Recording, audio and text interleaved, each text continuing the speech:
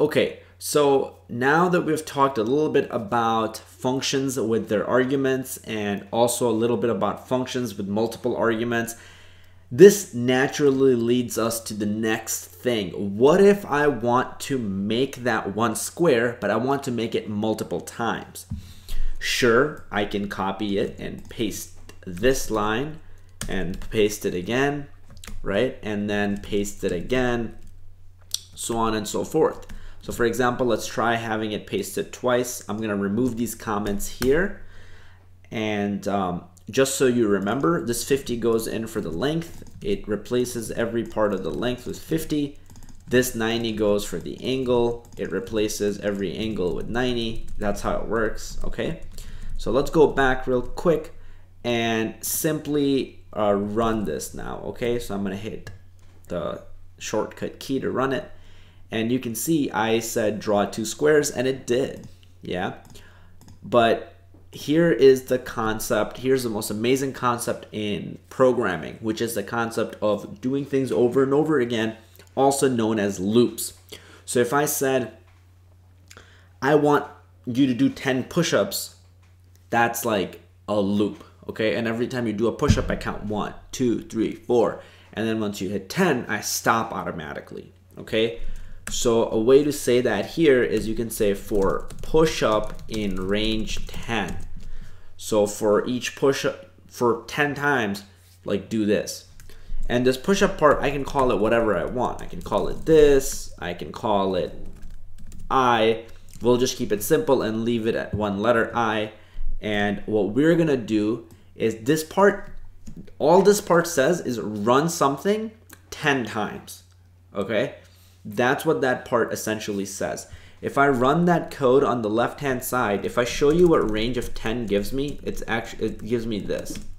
So when I do range 10, it won't really show you, it kind of hides what it gives you, but in reality, it gives you a list of uh, 10 numbers, okay? So we're gonna talk about more things like lists and integers and floating points in our uh, next video. But for now, I just want you to think of it like it gives us 10 things and so it runs 10 times. Okay, so if I did for i in range uh, 10 and I said print i, what actually happens is the first time in this list, uh, i, the first time you run through in this loop, i is 0. Then the next time, right, this range 10 is really this list here. So i is 0 the first time, then it's 1, then it's 2, then it's 3, then it's 4. And each time what happens in the loop is the part that's indented inside of the loop, that's the part that runs over and over and over again. So what happens? The first time i is 0, we say print 0 and we get the 0 right here. Then we say i is 1, so i is 1 over here and then it says print 1, we get 1 over here. Then in the last one, uh, i turns out to be 9, so we print 9 and then we get this 9 over here okay? That's a basic idea of how the loop works. So the part that we want to we want to run over and over again we're going to put it inside of this loop. Notice the colon at the end very important. And I'm gonna put this part inside of the loop. And I don't even need to put that. I can just do this and I can say um, I'm basically saying do this thing here, draw a square four times. That's all I'm saying, okay? And I will replace this code uh, in the regular way without a loop and I'll prove it to you. Okay, so first let's run it like this.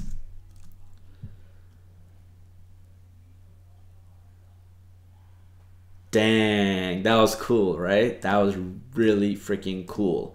It just ran that four times in a row. Now, I can show you what I mean. Okay, and I'm gonna comment out these lines. And you can see it's gonna draw that same four squares that we just drew. Okay, just like that. But by using a loop, your code gets a lot more clear. What if you didn't want to run it four times? What if you wanted to run it one million times? Yeah, it would be a lot harder to write that out one million times, but it's really easy to write one million in here. Uh, I think that's 1 million. That's 10, 100, 1,000, 10,000, 100,000, 1 million. That's actually 10 million. So there you go 10 million so this thing is going to run 10 million times right if I ran it I'm going to close it and really quickly because it's going to keep running forever but you'll notice that oh, uh, it just keeps overlapping on the same squares and it's going to do that 10 million times so if I went to sleep and woke up this will probably still be happening and then it'll still be happening after that so let's exit that before um, something crazy happens Okay, so that's loops for you guys. That is it for this video. I will see you in the next video.